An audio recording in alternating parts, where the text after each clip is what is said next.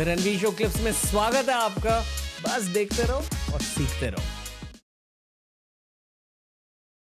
पर मोस्टली हर किसी की लाइफ में शनि महादशा होती है। हम कह नहीं सकते, ठीक है? बट मैं ये कहूँगा, आप नाइन्टी परसेंट सच बोल रहे हैं। साढ़े साथी के केस में अगर आप साठ साल जी रहे हो if you are living up to sixty years तो there is a time there is a chance कि दो बार साढ़े साथी फेस करके जाओगे आप लाइफ में। नब्बे साल जी रहे हो तो तीन बार फेस करके जाओगे। पर साढ़े सात ही फेस ज़रूर करोगे क्योंकि वो हर तीस साल में रिपीट होती है। ओके एक्चुअली साढ़े साथी के बारे में बात करना चाहिए। ये टेंशन होती है लोगों को साढ़े हम्म। साथी को लेकर। तो साढ़े साथी इसको ऐसे समझेंगे। पहले इसकी टेक्निकलिटी समझ लें। जी। Every planet is moving with its own speed जैसे पृथ्वी तीन सौ पैंसठ दिनों में एक सूर्य का चक्कर लगाती है। मरकुरी 88 डेज़ लेता है। वीनस अराउंड 120 डेज़ लेता है। मार्स आपका जो है वो लगभग अराउंड 876 ऐसे कुछ दिन लेता है जुपिटर आपका एक बारह साल लेता है। इसी तरह से जो सैटर्न है, वो पूरा सूर्य का एक चक्कर लगा के अपने पॉइंट पे वापस आने में अप्रॉक्स 29 30 ईयर्स लेता है। इस कैलकुलेशन के अकॉर्डिंग वो 12 राशियों में घूम कर वापस आ रहा है। तो अगर हम इस 30 ईयर्स के पीरियड को 12 से डिवाइड करेंगे तो आएगा 2.5 इट मीन्स कि सैटन जो है वो एक राशि में ढाई साल ठहरता है। फिर ढाई साल बाद अगली राशि में, ढाई साल बाद अगली राशि में। In the case of Saturn हम ये कहते हैं कि वो क्योंकि एक बहुत हैवी प्लानट है, वो अपना इफ़ेक्ट एक राशि आगे भी रखता है और एक राशि पीछे भी रखता है। ओके तो ये सैटर्न है लेस सपोज़ वो एरिस में बैठा है लेस सपोज़ ओके तो एक राशि आगे टॉरस है, यानी वृषभ है, और एक राशि जस्ट पीछे पाइसस यानी कि मीन राशि है। तो अगर शनि मेष में बैठा है तो वो ढाई साल टॉरस पे रिज़ल्ट देगा, ढाई साल मेष पे देगा, ढाई साल मीन राशि पे देगा। नाउ अब ये ढाई साल बाद टॉरस में आ जाएगा घूमकर। तो अब जहाँ बैठा है, वहाँ पे रिज़ल्ट देगा, ढाई साल आगे वाले पे, ढाई साल पीछे वाले पे। अब टॉरस से निकल के ढाई साल बाद ये जेमिनाई में आ जाएगा।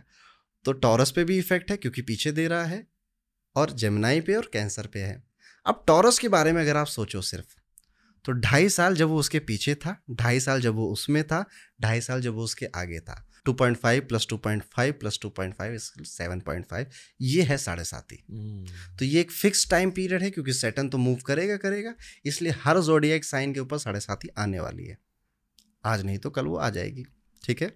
तो क्या हमें डरना चाहिए? हाँ ना। शनि की साढ़े साथी करती क्या? मैं कुछ कॉमन से ट्रेट्स बताता हूँ। जब भी आपकी शनि की साढ़े साथी शुरू होगी फ़र्स्ट आप चेंज के पीछे भागोगे। आप जॉब चेंज करोगे या बिज़नेस करने की कोशिश करोगे। जहाँ भी जाओगे वहाँ हर्डल होगा। लेकिन अगर पेशेंस के साथ रुकोगे तो सक्सेस मिलेगी। दूसरी चीज़ आप श्री हरि के भक्त बन जाओगे। आपको स्पिरिचुअलिटी का ज्ञान आ जाएगा। आपको मन करेगा चीज़ों को भगवान की भक्ति करना, पूजा करना, किसी भी तरह से, किसी भी फॉर्म में आप करने लगोगे। थर्ड आप अकेले रहने लग जाओगे।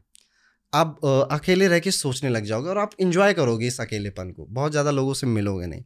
आपका जो स्टमक है वो बहुत सेंसिटिव हो जाएगा। ठीक है? आपका, अब आप कुछ भी बाहर का खा रहे हो तो आपका पेट अलाउ नहीं कर रहा है। वो बहुत सेंसिटिव हो चुका है। आपका, आप बहुत लेजी हो जाओगे, आलसी हो जाओगे इस टाइम पीरियड में सेटन के, ठीक है? अब आप चीज़ें धीरे धीरे कर रहे हो या प्रोकेस्टिनेट भी करने लग गए हो? तो ये वो कॉमन ट्रेड्स हैं जो सनी की साढ़े साथी में लोग फेस करते हैं। नाउ इसके आगे क्या होगा? That depends on the position of Saturn in your chart अगर वो सिक्स में एट्थ में थर्ड में इलेवेंथ में बैठा है this time period can be tough for you but वही चीज़ है, अगर आप इस चीज़ को पहले से समझ के सॉल्व कर लो या उस हाउस की एक्टिविटी कर लो तो सॉल्व हो जाएगा, कुछ दिक्कत नहीं होगी। तो ये सैटन की साढ़े साथी कुछ रेमेडीज जो ज्योतिष में ट्राइड एंड टेस्टेड है, क्योंकि मेरी खुद की चल रही है तो मुझे भी पता है। एक रुद्राक्ष होता है, वो सात मुखी रुद्राक्ष, इसे बोला जाता है, इसको रूलिंग प्लानर सैटन है, भगवान शिव का तो है ही, और ये लक्ष्मी जी का फेवरेट रुद्राक्ष है। तो जब आप सात मुखी रुद्राक्ष शनि के महादशा या साढ़े साथी में पहनते हो, आपकी बहुत सारी प्रॉब्लम सॉल्व हो जाती है, क्योंकि ये रुद्राक्ष आपके नेगेटिव इमोशंस को ऑब्ज़र्व कर लेता है। पहली चीज़। दूसरी चीज़ शनि की हनुमान जी के सामने नहीं चलती और श्री हरि जी के सामने नहीं चलती। तो अगर आप किसी भी तरह से हनुमान जी की चैंटिंग करते हो या श्री हरि की वंदना करते हो तो आप बहुत सारी प्रॉब्लम से बच जाओगे। थर्ड आप किसी भी तरह से अंडर प्रिविलेज क्लास की हेल्प करो, उनको डोनेट करो, उनको कुछ खाना खिलाओ, किसी भी तरह से हेल्प करो, ये सेटन आपको स्मूथ चला जाएगा। ये वो रेमेडीज़ हैं जो आपको इस टाइम पीरियड में करनी है। कुछ भी करना, अहंकार मत करना, वरना ऐसा पटकेगा ना कि दोबारा उठ नहीं पाओगे। ये सेटन का प्रॉमिस है लोगों के साथ। इस तरह से हम साढ़े साथी को समझ सकते हैं। आई थिंक ये पॉडकास्ट का एंड है ऑलमोस्ट हमने सारे टॉपिक्स को कवर कर लिया। वैसे आई एम श्योर कि आपके साथ दस और पॉडकास्ट रिकॉर्ड कर सकते हैं। मैं कह रहा हूँ देर इज़ सो मच ठीक है? अब जैसे हम आज ज्योतिष की बात कर रहे हैं there is a thing a vastu. Vastu is a very fascinating topic कि घर की डायरेक्शन के हिसाब से। अब मेरी कुंडली तो बड़ी मस्त है मेरी डेट ऑफ़ बर्थ भी बड़ी अच्छी है। पर अगर मैंने नॉर्थ ईस्ट में टॉयलेट बना दिया होता अब यहाँ पे टॉयलेट बना होता आपके तो आप परेशान हो जाते कि यार मेरी कुंडली में तो सब ठीक है कोई बता क्यों नहीं पा रहा है मेरी problem so so, vastu effect करता है। आप जहाँ रहते हो ना वहाँ की लोकेशन वहाँ की चीज़ें आपको इफ़ेक्ट करती for example if someone is from south तो चेहरे पे दिख जाएगा कि यार ये साउथ का बंदा है, वो उसकी डायलेक्ट में दिख जाएगा बात करने की शैली में ये साउथ का बंदा है। क्योंकि वो जहाँ रह रहा है, उसके इफ़ेक्ट पड़ रहा है उसके ऊपर। इसी तरह से नॉर्थ ईस्टर्न आपको देखने में पता चल जाएँगे, बात करने में पता चल जाएँगे, पंजाबी पता चल जाएँगे आपको ओके सो इस तरह से कोई कहाँ रह रहा है, वो इफ़ेक्ट करता है ना उसके ऊपर। तो आप जिस घर में रह रहे हो, इसकी एनर्जीज भी अफेक्ट करती हैं। तो there is vastu we called forty five devta energies in your house और ये बहुत इन डेप्थ और बहुत इंटरेस्टिंग टॉपिक है। और ये वास्तु हो गया फिर लाल किताब है पामिस्ट्री है न्यूमरोलॉजी है रीकी है there is so much things reiki भी आ जाता है इसमें। रेकी अकल्ट साइंस है ना उसमें आप हील कर रहे हो दूसरों को। Okay hmm. वो भी एक ऐसा साइंस है जो कि गुप्त रखा गया बहुतों को नहीं पता है तो वो भी एट्थ हाउस की चीज़ है। मैंने मैं एक्चुअली सर्टिफाइड हूँ रेकी में। ओह वाओ हाँ, और बहुत चेंजेस आए मेरे लाइफ में हम्म। रेकी की वजह से। ग्रैंड मास्टर नहीं नहीं नहीं हाँ। भाई। मैंने सिर्फ़ फ़र्स्ट लेवल किया हुआ चेंजेस आए मुझे मिला जो मुझे रेकी से मिला तो जब आपने रेकी सीखा ना तो you are doing the eighth house remedy that is why you are so much peaceful and calm हाँ हम्म। गुस्सा चला गया। यस क्योंकि एट्थ हाउस जो भी अकल्ट सीख रहा है ना वो फिर बहुत ज़्यादा परेशान नहीं हो सकता। वो क्यूरियस हो सकता है पर परेशान नहीं होगा। क्योंकि डिटैचमेंट आ जाती है। वो एट्थ हाउस बेसिकली एक्टिवेट हो जाता है ना एट्थ हाउस बैलेंस हो जाता है। फॉर एग्ज़ाम्पल एक छोटा सा एग्ज़ाम्पल दूँगा आपको।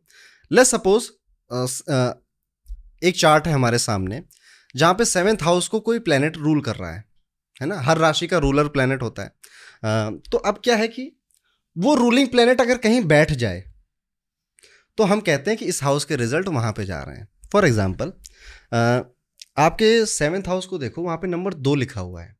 नंबर दो को वीनस रूल करता है ओके नंबर दो वीनस बैठा कहाँ पे? सिक्स हाउस में। ओके? तो अब क्या कह रहा है कि मैरिज चली गई सिक्स हाउस में। अब आपका स्पाउस कैसा होगा ये भी इससे पता चल जाएगा कि आपका जो स्पाउस है वो लॉ के प्रोफेशन से मेडिकल प्रोफेशन से या फाइनेंस के प्रोफेशन से रिलेटेड हो सकता है और नहीं है तो उसे होना चाहिए। क्योंकि अगर वो नहीं हुआ तो six house is litigation also marriage can go to litigation लेकिन अगर वो इन प्रोफेशन से है तो नहीं होगा। इसीलिए कहा जाता है आप हर तरह की कुंडली को बैलेंस कर सकते हो। फॉर एग्ज़ाम्पल किसी का मनी हाउस का लॉर्ड उसके फ़र्स्ट हाउस में बैठ जाए तो उसे कुछ नहीं करना, अपने आप को फिट रखना, अपने बाल सही रखने हैं। वो जितना अपने आप को फिट करता जाएगा, पैसा उतना आता जाएगा। मनी हाउस का लॉर्ड अगर टेंथ हाउस में बैठ जाए second house lord in tenth house तो भाई बस घर से बाहर निकलो, काम अपने आप मिलेगा, पैसा अपने आप मिलेगा, क्योंकि अब आपका कर्म आपके धन के साथ जुड़ गया। मनी हाउस लॉर्ड अगर नाइन्थ में बैठ जाए, यानी पैसा भाग्य से जुड़ गया, अब तो बैठे रहो ऐसे ऐसे ऑफ़र आएँगे आपके पास। तो ये कुछ ऐसी पोजीशंस हैं, इसका लॉर्ड उस घर में, उसका लॉर्ड उस घर में तो किस तरह से चीज़ें इवॉल्व होती हैं, काम करती हैं। अगर आपको ये क्लिप अच्छा लगा तो ऐसे ही हज़ार क्लिप्स अपलोड किए गए हैं इस चैनल पर, बस देखते जाओ और सीखते जाओ।